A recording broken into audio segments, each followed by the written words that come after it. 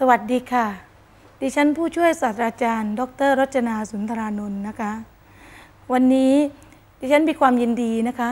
ที่จะนำเสนอการสอนนาฏศิลป์ไทยนะคะ ให้กับเด็กในช่วงชั้นที่หนึ่งค่ะ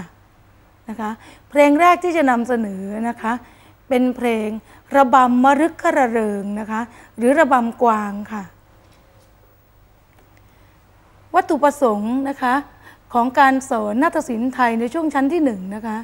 จะอธิบายประวัติความเป็นมา การแต่งกาย ความหมายของเพลงระบำมรึกขระเริงนะคะ เมื่อสอนระบำมรึกขระเริงเสร็จแล้วนะตอนต่อไปก็จะสอนระบำนกของวราปีด้วยนะคะนะต่อไปก็จะฝึกหัดการร้องและรำเพลง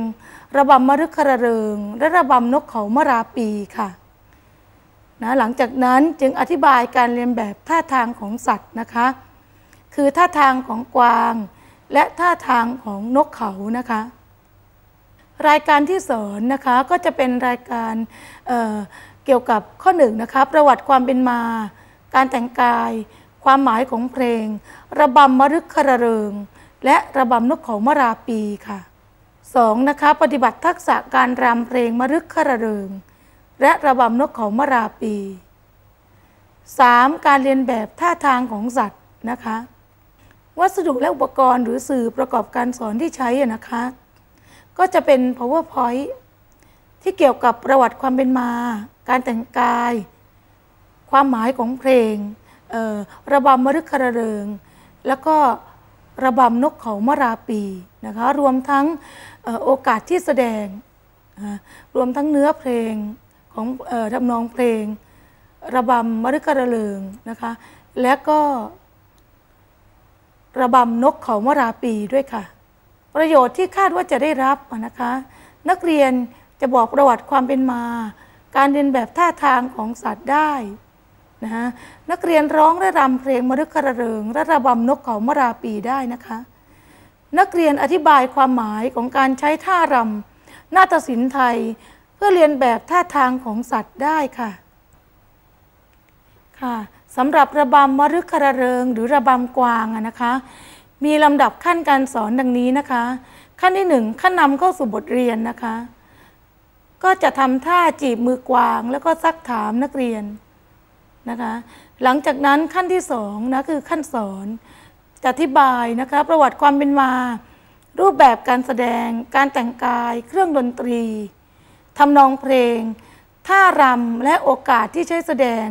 ของระบำมรึกคารเริงค่ะสำหรับประวัติความเป็นมาของระบำมรึกคารเริงนะคะ หรือระบำกวางนะคะ เป็นชุดที่ครูระมุนยมคุปนะผู้เชี่ยวชาญการสอนนาฏศิลป์ไทยนะคะ ได้ประดิษฐ์ขึ้น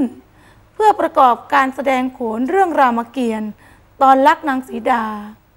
เนื่องในงานแลกเปลี่ยนวัฒนธรรม ณ ประเทศสาธารณรัฐสหภาพพม่า ในปีพุทธศักราช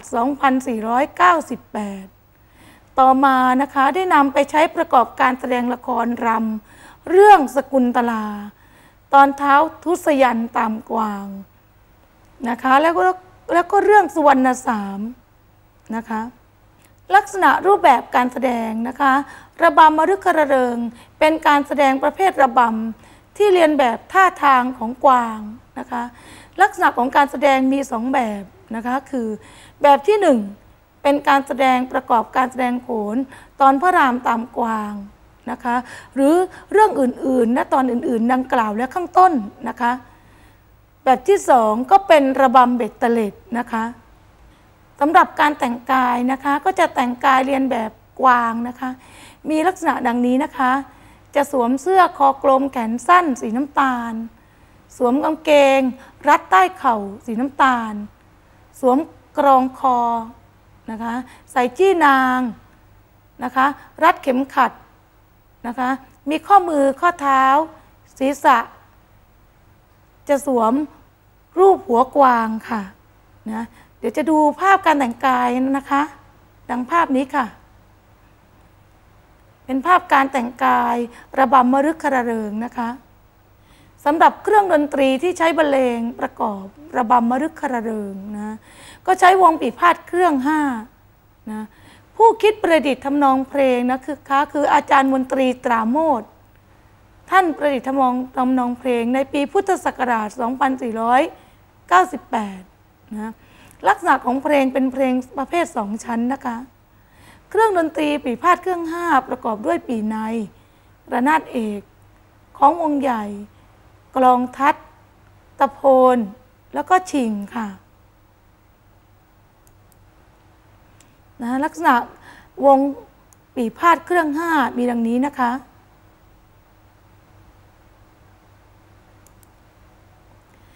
ส่วนโน้ตเพลงระบำมรึกคระเริงนะคะโดยนายชุมพลปัญจัดนะคะก็มีดังนี้ค่ะ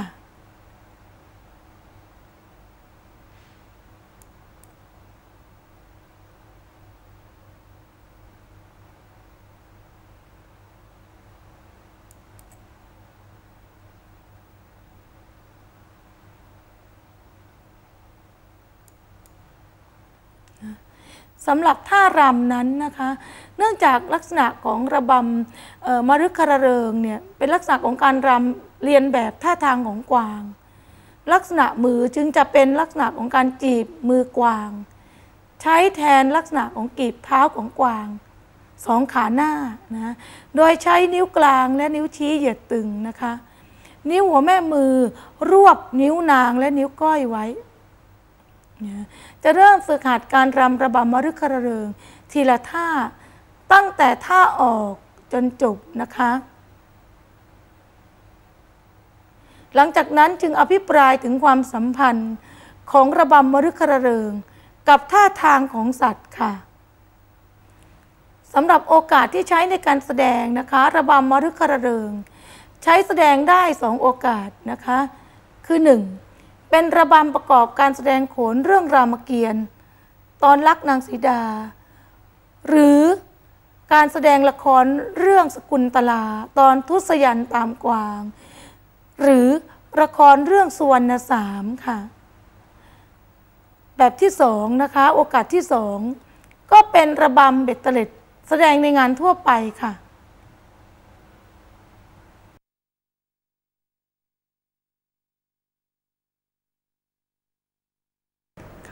ระบำอีกชุดหนึ่งนะคะที่เหมาะสมที่สำหรับจะสอนเด็กๆนะคะก็คือระบำมรึกคารเริง หรือระบำกวางนะคะซึ่งเป็นระบำที่เรียนแบบท่าทางของกวางนะคะลักษณะนี้จะเป็นเอกลักษณ์พิเศษของการรำกวางก็คือว่าระบำกวางนะคะจะทำมือโดยใช้นิ้วชี้นะคะแล้วก็นิ้วกลางแนบกันนะคะในลักษณะนี้เขาเรียกว่าจีบมือกวาง นะการกีบมือกวางเนี่ยจะบ่งบอกถึงกีบเท้าข้างหน้าของกวาง บางคนไม่เข้าใจก็จะบอกว่าเป็นเขาของกวางที่จริงไม่ใช่ค่ะ เป็นกีบเท้าของกวางนะคะกีบเท้าหน้าทั้งคู่ ส่วนเท้าหลังนั่นก็คือเท้าเท้าของผู้รำนะคะ ส่วนหัวกวางนั้นเนี่ยจะสวมเป็นเครื่องศิลาพรเป็นรูปหัวกวางอยู่แล้วก็จะมีเขากวางอยู่แล้วนะคะนะคะเอาละทีนี้ครูจะสอนให้รำระบำกวางนะคะ วันนี้ ชอบไหมคะ ชอบ อ่าลองจีบมือกวางให้ครูดูสิ อ่า นิ้วหัวแม่มือจะเก็บนิ้ว ทุกนิ้วเนี่ย ไปเลยนะคะ ไม่ใช่ไปทำถ้าหนูทำแหลมอย่างนี้ คนไม่เข้าใจก็เข้าใจว่าเป็นหน้าของกวาง ถูกไหมคะ ไม่ถูกนะคะ เก็บให้หมดเลยนะคะ นี่ลักษณะของการเดินของกวางเนี่ยเป็นลักษณะลีลาการเดินโดยธรรมชาติ เป็นการเรียนแบบท่าทางของสัตว์อยู่แล้ว ถ้าเรายื่น กีบเท้าขวาไปข้างหน้านะคะ เท้าหลังก็ต้องเป็นเท้าซ้ายนะคะแล้วศีรษะก็เอียงไปอย่างนี้ก้าวเท้าขวามือซ้ายก็ออกไปข้างหน้าอย่างนี้โน้มตัวไปนะคะอ้าวลุกขึ้นทำค่ะ ถอยหลังไปหน่อยหนึ่งลูกนะคะ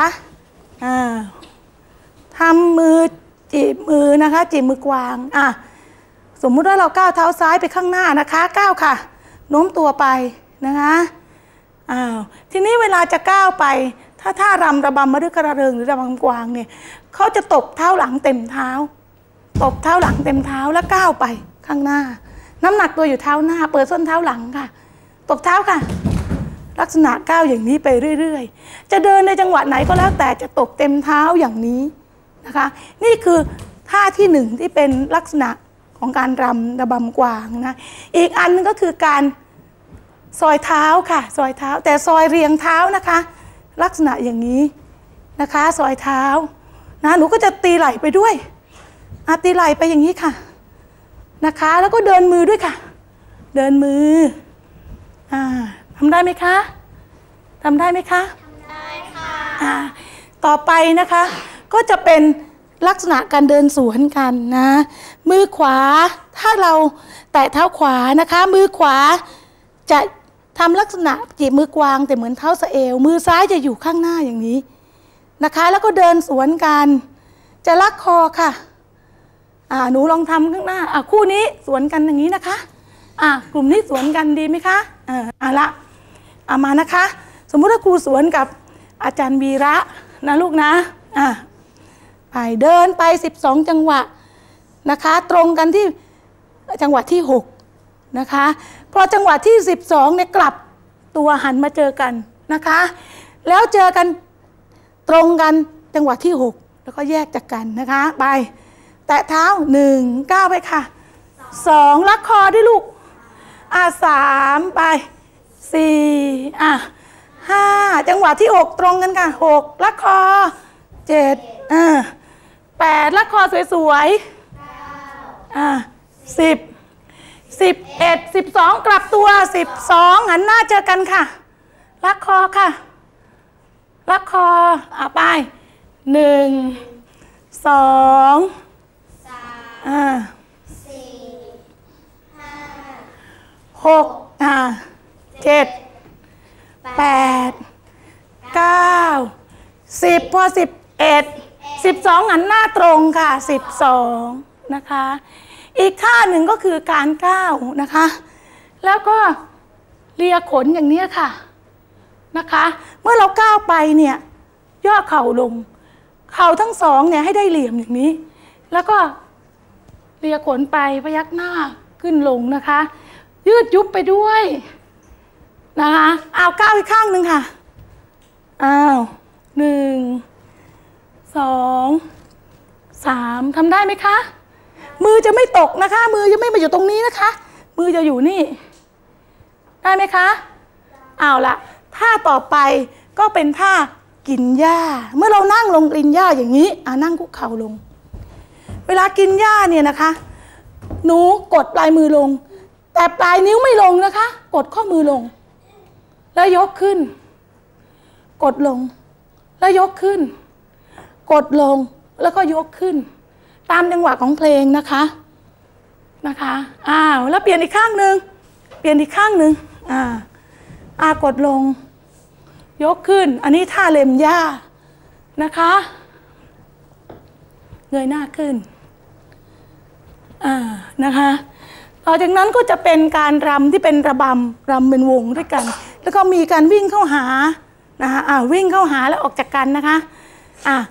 ไปทางเดียวกันเลยค่ะอ่า ซอยเท้า ขยันซอยเท้าเอาวิ่งเข้าไป ยืดอ่าหลบเข่านะคะ เอาซอยเท้ามาอีก ยุบ ยืดอ่าซอยเท้าอีกค่ะ ยุบ ยืดอ่ามาอีกค่ะ ยุบ ยืดนะคะทำได้ไหมคะได้อ่าเสร็จแล้วท่าสุดท้ายจะเป็นท่ากระโจน กวางกระโจนนะคะ พอเราก้าวอย่างนี้ปุ๊บเนี่ยลง พอยืดยุบจะกระโจนก็กระโจนอย่างนี้กระโดดทำได้ไหมคะเออกระโดดกระโจนเข้าไปเลย อย่างนี้นะคะทำได้ไหมอ้าวเดี๋ยวลองทำท่ากระโจนให้ครูดูหน่อยสิอ้าวกระโจนอยู่กับที่ได้ไหมอะไปอ่าสมมติเราก้าวอย่างนี้อยู่อ้าวกระโจนไปเลยค่ะอ่ากระโจน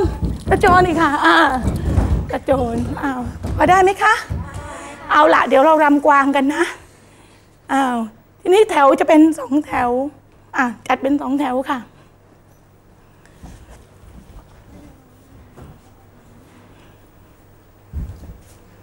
อะออกมาจากเวทีทั้งสองข้างนะคะ ใครนำหน้าตรงนี้ ใครนำหน้าคะ เออ อยู่แถวนี้อยู่แล้วใช่ไหมคะอะเดินสวนกัน อะจากด้านนู้นมาด้านนี้อ่า น้องนัดอยู่แถวนี้ถูกแล้วนะคะอ้าวออกมาค่ะเอาสวนอ้าวสสวนเรียบร้อยแล้วเหรอคะทำไมสวนเร็วจังอะอ่าอ่าโอเคสวนเรียบร้อยแล้ว เสร็จแล้วทีนี้ทำยังไงคะอ่าทำยังไงคะก้าวเท้าขวาอ่าก้าวเท้าขวาไปข้างหน้าอ่าตบเท้าก้าวมาค่ะเออตามทำนองเพลงนะคะ เมื่อจบทำนองเพลงเสร็จแล้ว ต่อไปก็จะเป็นการก้าว ก้าวเท้าและรวมเท้าลักคอนะคะไปตามจังหวะ ไปอีกค่ะ อ่าก้าวไขว้เท้าขวา กดไหล่ยกขึ้นนะ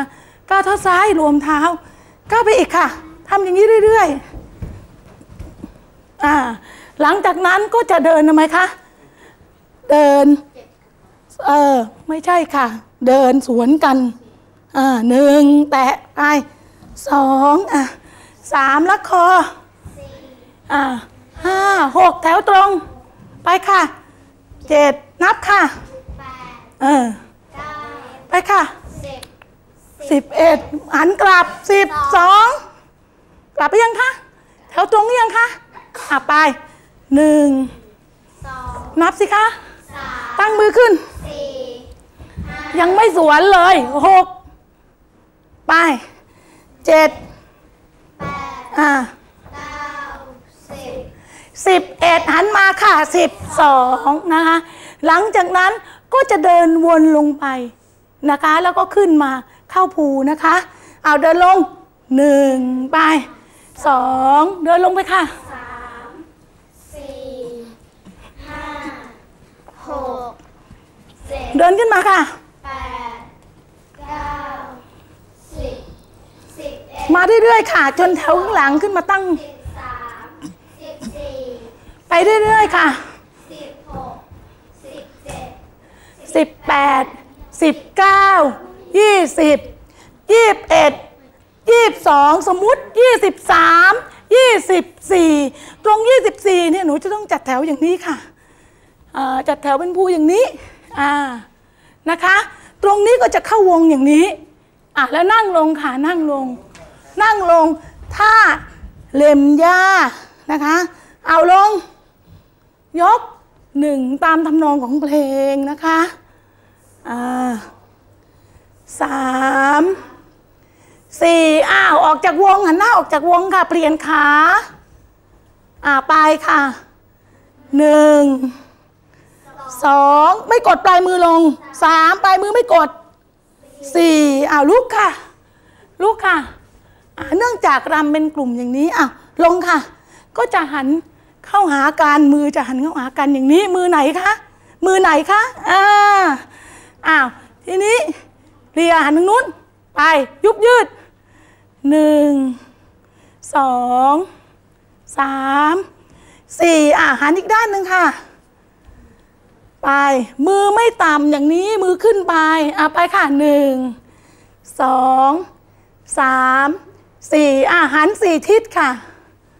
นะหนึ่ง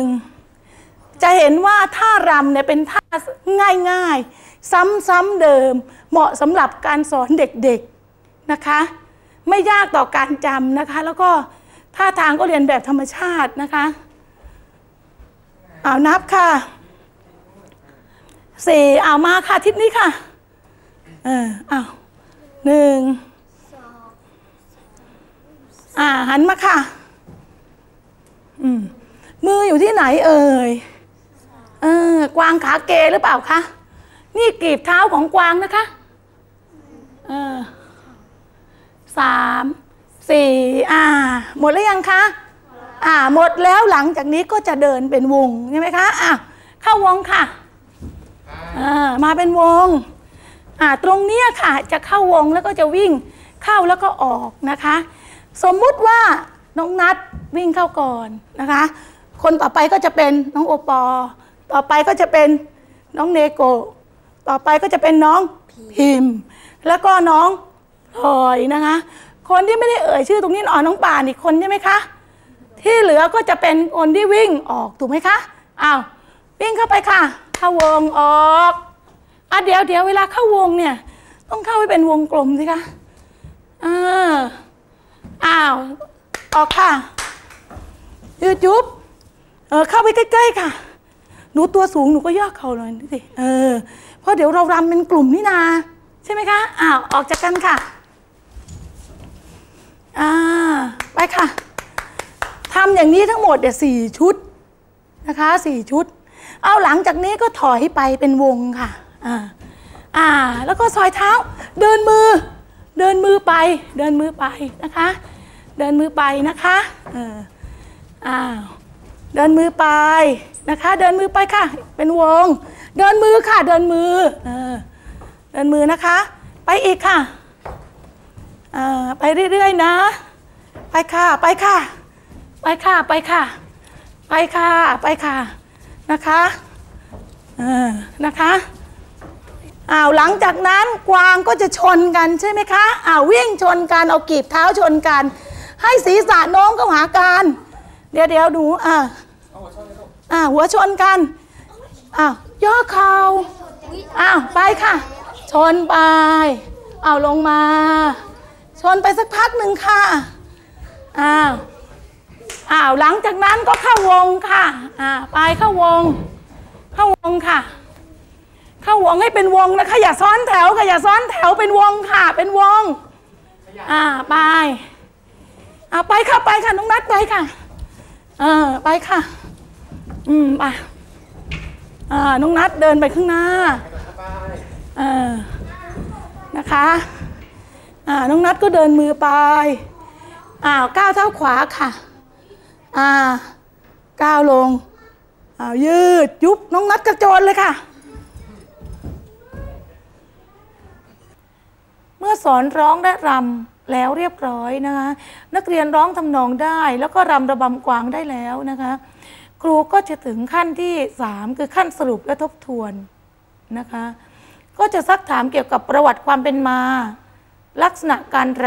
ำการแต่งกายของระบำมรึกคระเริง แล้วให้นักเรียนรำทีละกลุ่มนะคะ เมื่อนักเรียนรำได้แล้ว เข้ากับเพลงเรียบร้อยแล้วนะคะ ก็ถึงขั้นสุดท้ายคือขั้นที่ 4 คือขั้นวัดผลนะคะ ก็จะซักถามประวัติความเป็นมา รูปแบบการแสดง การแต่งกายและโอกาสที่แสดง แล้วให้นักเรียนสลับแถวกันออกมารำเพลงระบำมรึกคระเริงทีละกลุ่ม หลังจากนั้นก็อภิปรายเกี่ยวกับความหมายของท่ารำ นะที่เกี่ยวกับท่าทางธรรมชาติของกวาง กับท่ารำของนาฏศิลป์ไทยค่ะ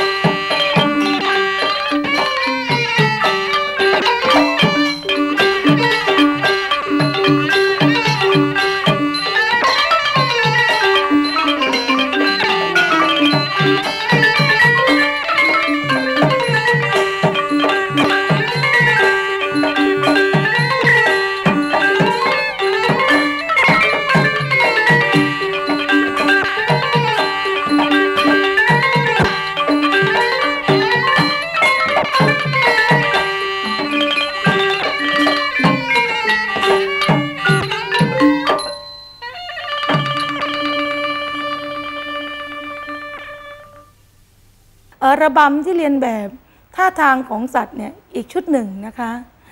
ก็คือระบำนกเขามาราปีค่ะ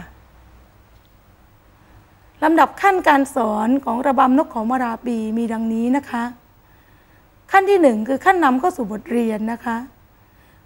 ครูก็จะทบทวนท่ารำระบำมรึกกระเริง หรือระบำกวางที่สอนไปแล้วนะคะพอถึงขั้นที่สองคือขั้นสอน ก็จะอธิบายประวัติความเป็นมา รูปแบบการแสดง การแต่งกาย เครื่องดนตรี เนื้อร้อง